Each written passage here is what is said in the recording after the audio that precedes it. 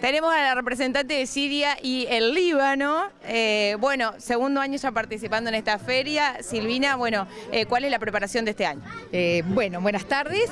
La preparación este año para cambiar, hice niches de papa y cebolla. Es como una especie de empanada sencilla, muy más propia de la comida judía. Eh, y bueno, es, gusta.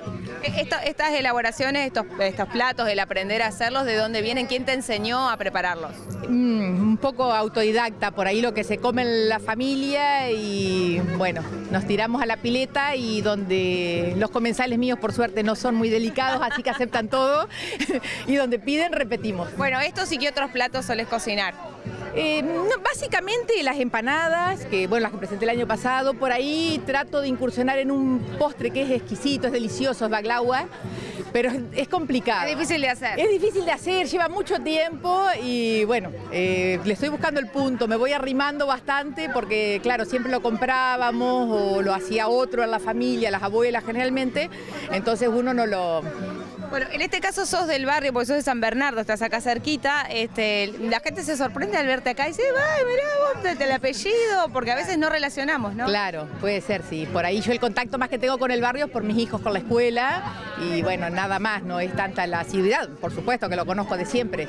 Y sí, por ahí no tenemos tanto contacto directo con la gente, los conozco a la mayoría, pero ya te digo más que nada por la escuela. Bueno, suerte en la degustación Bueno, muchísimas gracias y espero que les guste, que lo prueben y que les guste. Bueno, ahora vamos con Lili, ¿no? Del barrio, del barrio Santa Teresita, eh, de, de Paraguay, nos trae chipa, no chipa, chipa, ¿no? Sí, hola, muy buenas tardes. La primera vez que participo, muy contenta, muy feliz de participar.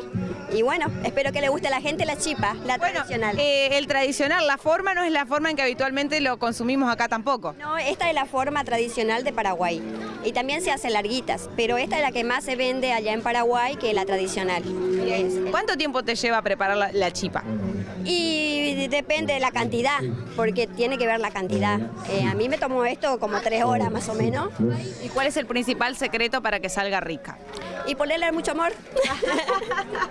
mucho amor y bueno, y los ingredientes que tiene que llevar. En este caso, el queso es lo más importante. El queso, la manteca y bueno, el almidón de mandioca. Esto no sale por la cámara, pero qué bien huele, Jorge, usted que está detrás de cámara, esto huele muy, muy bien. Que tenga todo el éxito en la presentación. Muchas gracias, gracias. Bueno, ahora nos vamos de Paraguay a Estados Unidos para hablar con Brian. Bueno, Brian, eh, espero que me entiendas todo lo que voy a decir en esta entrevista. ¿Hace cuántos años estás viviendo en San José o cuánto tiempo? Sí, cu- ah, cuatro años. Bien, Eh, cuatro años y esto que estás presentando hoy es la carrot cake. ¿Qué es? Es una torta de zanahoria o un budín de zanahoria también.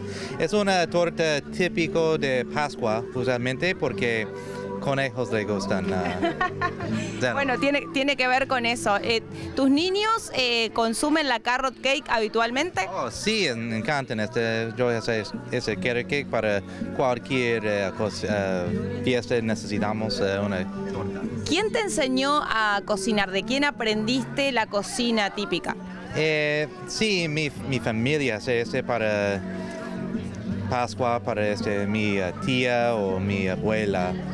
En, acá viviendo en Argentina, ¿celebran igual sus fechas típicas o tradicionales de eh, Estados Unidos? Por ejemplo, Acción de Gracias, ¿se lo celebran igual acá? Sí, sí, eh, Acción de Gracias eh, pasaron, más, más recién yo compré un pavo.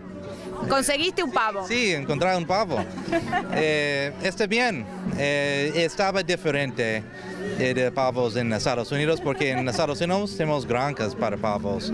Están grandísimos porque comer mucho, mucho. Y, y hay mucha venta de pavo, acá no. Sí, acá no, están, está un pavo. Bueno, eh, Brian, con los, con los niños y la educación, ¿cómo hacen? ¿Hablan inglés y hablan español los niños, las dos? Sí, eh, Blas entiende los dos, pero solo habla en castellano. Y Bruce está más, ah, más joven aún, este, solo dos años. Él, sabe las palabras, pero no entiende todo. Eh, tiene la idea de mantener siempre las dos culturas, argentina y estadounidense. Sí, es muy importante para experiencia para los dos culturas. ¿Qué te pareció la feria, los chicos que venían a preguntar? ¿Cómo te sentís con eso? Sí, mucho eh, muchos chicos están interesados con las palabras en, en inglés y la preparación de la torta también. Y en este, muchas preguntas. Bueno, eh, te deseamos todo el éxito a vos y a tu familia en esta feria. Gracias. Sí, gracias.